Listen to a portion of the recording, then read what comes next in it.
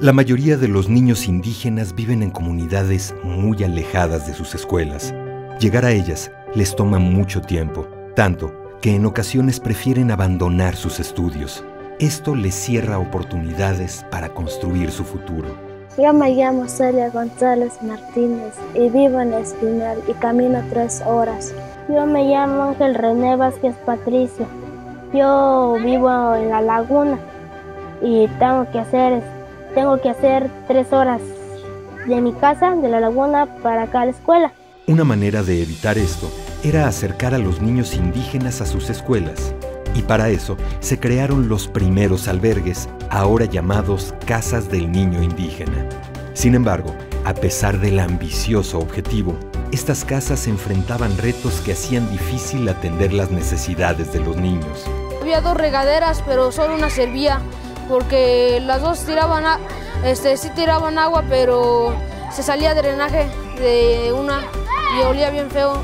Consciente de eso y pensando siempre que el futuro de nuestras comunidades indígenas depende de eliminar las barreras en la educación, el presidente de la República, Enrique Peña Nieto, instruyó a la CDI a transformar estos albergues hacia las casas del niño indígena, un modelo pensado completamente en las necesidades de los niños indígenas. Las casas del niño indígena son espacios donde los niños indígenas reciben alimentación, hospedaje, artículos para higiene personal y apoyo para su desarrollo desde preprimaria hasta nivel superior.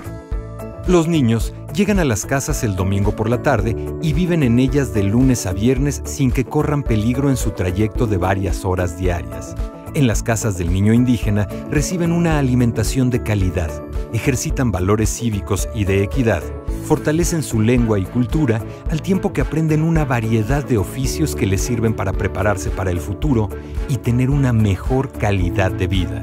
A las seis este, me alisto para irme a la escuela. Luego ya pasamos a comer, nos enseñan a aprender y escribir, que me siento muy bien allá aquí en la casa del niño indígena y este, me siento muy contenta. Y entre las actividades culturales, pues tenemos un proyecto este, de folclore y entonces sí, cuando tenemos tiempo libre, pues ensayamos jarana con algunos de mis compañeros.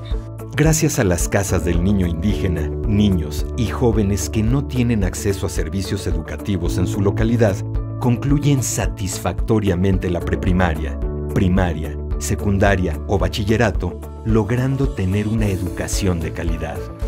Hoy, el Gobierno de la República, a través de la CDI, firma un convenio con la Fundación Patrimonio Indígena para que todas las casas del niño indígena tengan las mejores condiciones y ayuden a los niños indígenas a tener una vida mejor.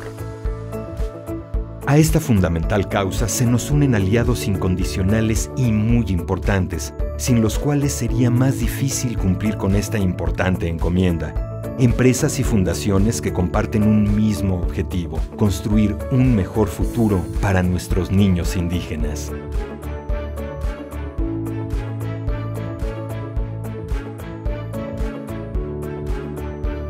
Gobierno de la República.